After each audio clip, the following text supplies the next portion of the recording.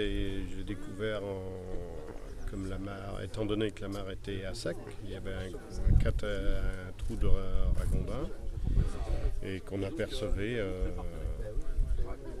apercevait la tête de la bombe par le trou. Euh, sur le moment, on ne savait pas si c'était un éclat d'une bombe qui avait éclaté. C'est pour ça qu'on a alerté euh, le maire et qui a contacté la gendarmerie qui est venue prendre des photos et puis qui a envoyé la sécurité civile à La Rochelle. Qui On n'a pas touché, on ne savait pas ce que c'était.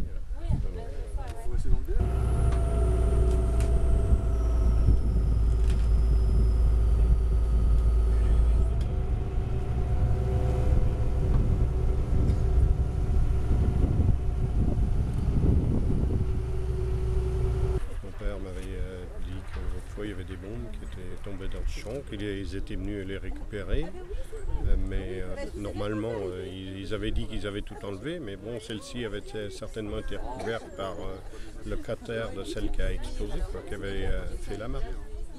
Si elle avait eu à exploser, je pense que depuis, a explosé.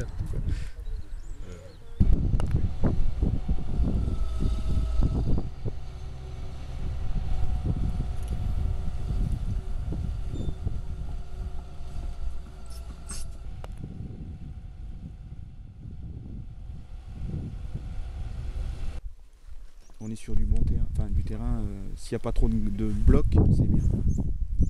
Là, il t'a cherché un peu de terre,